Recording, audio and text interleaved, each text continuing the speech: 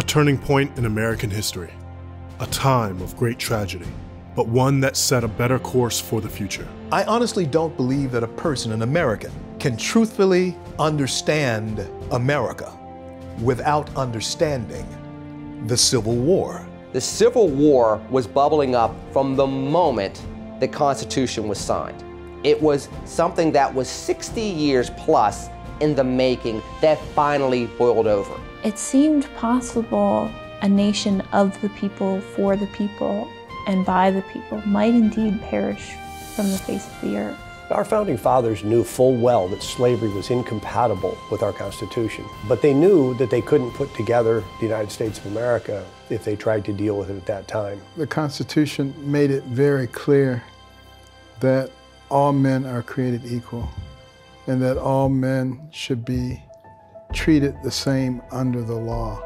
The Civil War corrected the conflict left unresolved by our founders. Hundreds of thousands of men, both black and white, died fighting to achieve this fundamental purpose to secure, once and for all, the Declaration's promise that all men are created equal.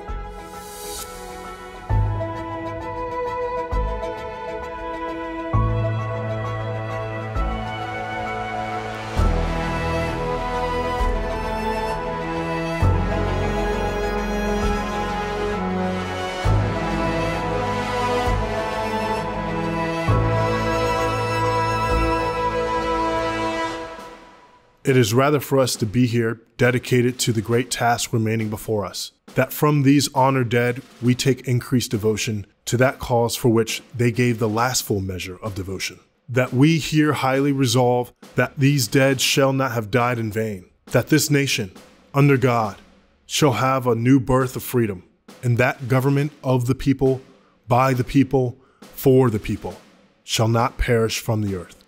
Abraham Lincoln.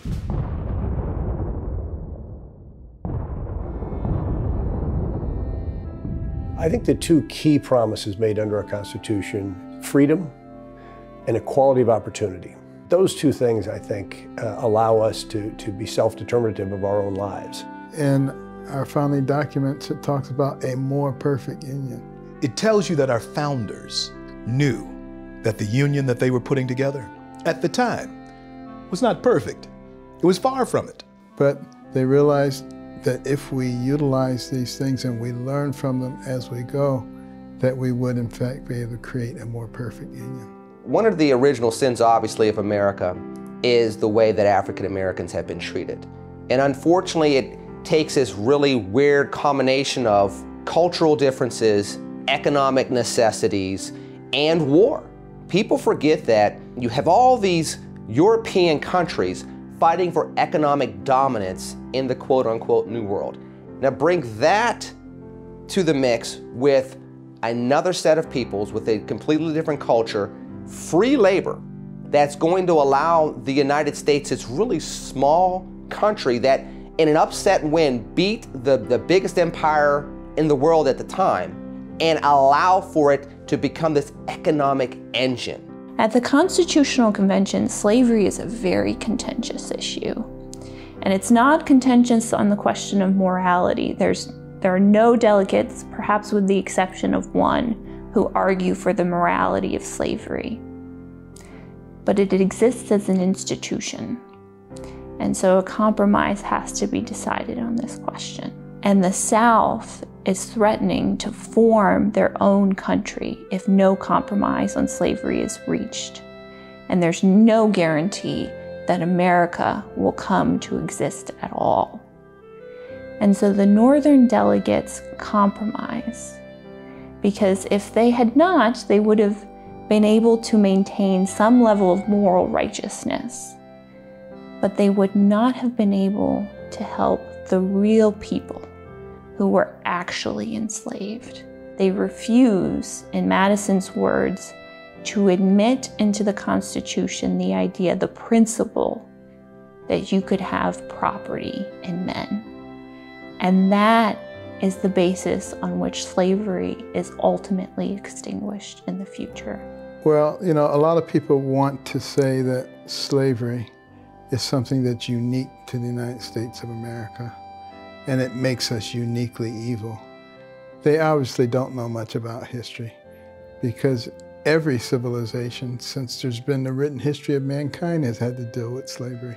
The only thing that's really unique about us is that we had so many people who were vehemently opposed to it that we were willing to fight a civil war and lose a large portion of our population to get rid of it. One can argue that we don't heal fast enough, that we don't solve these things fast enough. And I, and I think that's a fair reality.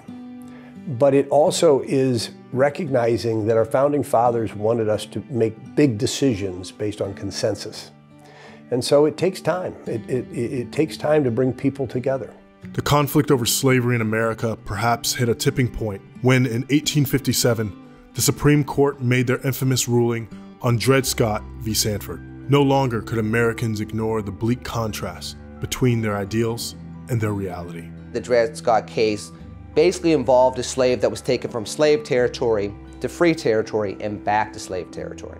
Now, the ongoing horrible legacy of the Dred Scott case was not so much that Dred Scott was determined to have remained a slave because of the laws of Missouri, but more so that the court basically ruled in a 7 2 ruling that the Constitution was not written with African Americans in mind, and therefore any right that an African American, and at that time an African or a person of African descent, because they were not American, brought to the court, it was not worthy of being honored. There was precedent all the way back to the 1600s and the early 1700s of people of African descent going to the court system, demanding rights, being able to free themselves by way of the court system 100 years prior to the Dred Scott decision the legacy of the Dred Scott case completely overlooked that and it put African Americans on a second class citizenry for at least 100 years and it cemented it in the minds, unfortunately, of millions of Americans. And it's something that we've had to work through to bridge that gap and to heal from that wound. That wound cut America deeply. And yet, we can proudly say that is no longer where we are even if some refuse to recognize how we have healed. There are those who would want us to stop someplace along that timeline and say, this is where we get off this train because it's irreparably racist. We're uh, sometimes our own worst enemy as Americans by trying to fuse those things in the past with where we are. The war itself proved complicated. Through the smoke of battle, Objectives were not always clear. Both sides believed that they were defending something important for their future. In my family history, back in Ohio, we have an ancestor, John Temple, who fought for the Ohio in the Civil War. And it's just such a fascinating period in our history. Too often on the books, we focus on the generals and the politicians, and we don't really spend that much time focusing on the people who actually fought in that conflict. And it was a very personal conflict for them because so many people like my ancestor in the North could have very easily have been from the South, from South Carolina, from Georgia. They were fighting for their fighting for their neighbors and fighting for their families and fighting for what they perceived to be their home.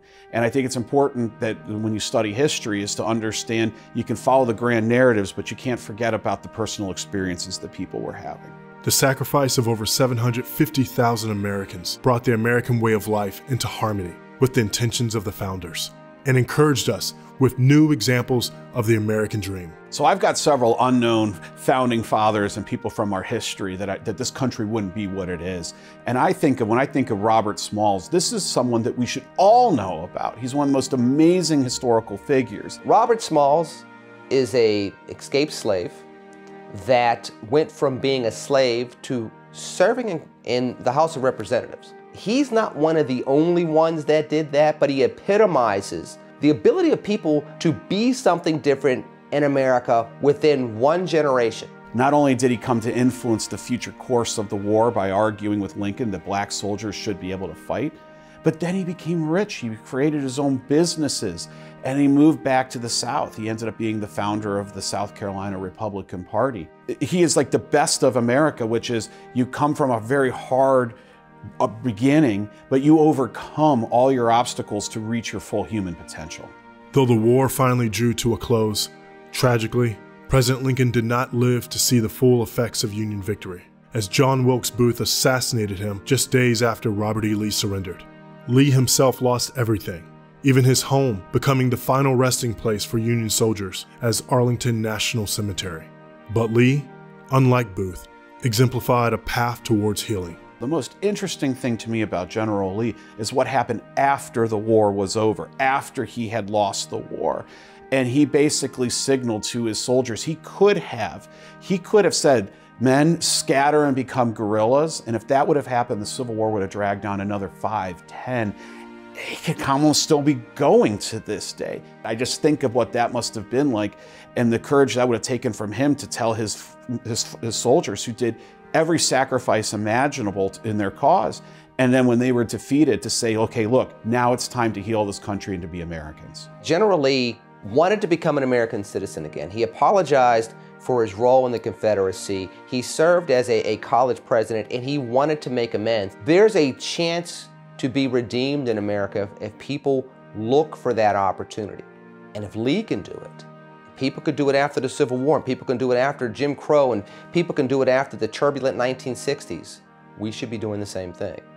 The ratification of the 13th, 14th, and 15th Amendments that overturned Dred Scott and granted citizenship and the right to vote to blacks allowed all Americans to partake in the promise of the Declaration of Independence, proving the strength of the American system. The very fact of the Civil War that half of this country went to war with the other half and put their sons and, and daughters at risk uh, in that war to do away with slavery is probably the greatest example the earth has ever seen uh, of, of people willing to self-heal. But that's the real benefit of the way our Constitution works. The Founding Fathers knew extremely well the difference between a plurality, a vote for electing a, an official who you will get to vote on again in two, four, six years, versus consensus. Uh, they wanted our Constitution to be consensus based, that the bulk of America, and that's why to amend the Constitution, it takes getting three quarters of the states to approve an amendment. There's this new rise of trying to portray the Constitution as a pro slavery document. I think the objective is to taint the Constitution itself. And if you're able to taint the Constitution and the principles of the American founding to such a degree that they are they seem unrecoverable, then you actually open up the opportunity for those ideas to be replaced by something else. Though resolving this stain on our nation was possible only through the blood and suffering of civil war, the goal was right and just, and ultimately proved the true value of our Constitution. It admits our flaws. It says that there are times where we've gotten things wrong. The Dred Scott case obviously was something that we got wrong. Plessy versus Ferguson is obviously something that we got wrong. Instances of Jim Crow and segregation at the same exact time when African Americans are veterans in world wars are things we obviously got wrong. I think it's important when you study our history. Yes, we have great and tremendous points in our history, but we also have tragedies. That's history. It's a mix of the two, and too often we focus on the good side, don't look at the bad, or we focus on all in the bad, don't look at, at any of the good. But when you look at our American history, what ends up happening because of our system and because of our values it seems we, we get through those bad periods, and when, when the bad period's over, you're in a better place as a nation. We do self correct. The truth of the matter is, if you don't teach the history of slavery, you don't teach the history of racism, you don't teach the history of sexism, you don't talk about the cultural differences that both made us a strong nation but also divided us, how do you learn the lessons of history to move forward? And how more so do you find the civic pride to say, wow, our forefathers really messed it up in this regard. But we found a way to be a more perfect union afterwards. There's inspiration in that. The transition away from slavery and towards the rebuilding of the American nation was a period defined by the principle of creative destruction. What was old and inefficient was uprooted to make room for something better.